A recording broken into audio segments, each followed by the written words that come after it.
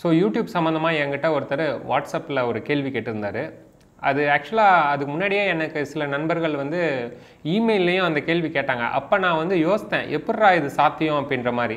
அப்புறம் தான் எனக்கு ஐடியா கிடச்சிது. ஸோ அதை பற்றி தான் இப்போ நம்ம டிஸ்கஸ் பண்ண போகிறோம் ஸோ இதுதான் அவர் எனக்கு அனுப்பிச்ச இமேஜ் என்ன கேள்வி அப்படின்றத ஃபஸ்ட்டு பார்த்துருவோம் யூடியூப்பில் வந்து நம்ம வந்து மானிட்டைசேஷன் என்னபிள் ஆகிறதுக்கு இப்போ சில விதிகள் இருக்குது என்ன அப்படின்னா தௌசண்ட் சப்ஸ்கிரைபர்ஸ் இருக்கணும் ஃபோர் தௌசண்ட் வாட்ச் ஹவர்ஸ் இருக்கணும். மினிமம் இது இருந்தால் தான் நம்ம குவாலிஃபையே ஆகும் மானிட்டைசேஷன் அப்ளை பண்ண.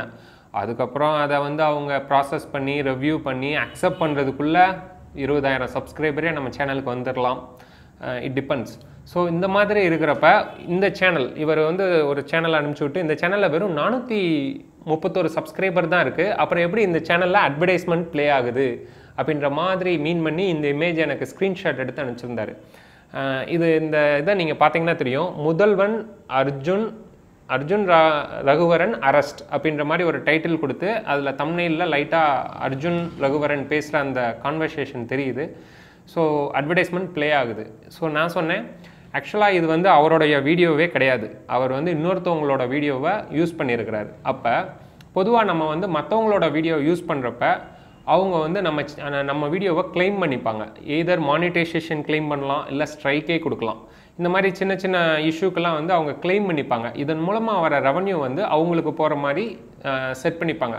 ஸோ இங்கே ப்ளே ஆகிற அட்வர்டைஸ்மெண்ட் வந்து இவருக்கு மானிட்டைசேஷன் அப்ரூவ் ஆகி இவருக்கு கிரெடிட் ஆகலை. இது வந்து ஜஸ்ட்டு இந்த வீடியோவுக்கு மட்டும்தான் அட் அட்வர்டைஸ்மெண்ட் ப்ளே ஆகும். ஏன் அப்படின்னா இந்த வீடியோ வந்து இந்த வீடியோவோட ஓனர் இன்னொருத்தவங்களா இருப்பாங்க. அவங்க இந்த வீடியோவை கிளைம் பண்ணியிருக்கிறாங்க. அவங்களோட அட்வர்டைஸ்மெண்ட்ஸ் இங்கே ப்ளே ஆகுது. இதில் இந்த அட்வர்டைஸ்மெண்ட்ஸில் கிடைக்கிற எல்லா ரெவன்யூவும் அவங்களுக்கு தான் போகும்.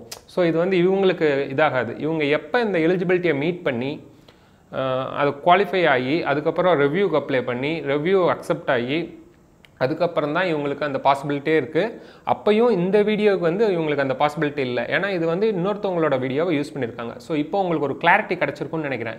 ஏன்னா சில பேர் வந்து மற்றவங்களோட வீடியோவை பார்க்குறாங்க சேனலை பார்த்துட்டு என்ன இவங்களுக்கு தௌசண்ட் சப்ஸ்கிரைபர் கூட இல்லை இருந்தாலும் வந்து இவங்களுக்கு வந்து அப்ரூவ் ஆயிருக்கே ஆட்ஸ் எல்லாம் தெரியுதே அப்படின்ற ஒரு கேள்வி பல பேருக்கு வருது. இப்போ அதுக்கு உங்களுக்கு விடை தெரிஞ்சிருக்கும்னு நினைக்கிறேன். ஸோ இந்த மாதிரி யூடியூப் பற்றி பல கேள்விகளுக்கு நம்ம தொடர்ந்து பதில் பார்க்க போகிறோம் தொடர்ந்து ஆன்லைன் சேனல் கன்சல்டன்ட் சேனலை ஃபாலோ பண்ணிக்கோங்க. அடுத்த வீடியோவில் சந்திப்போம். நன்றி.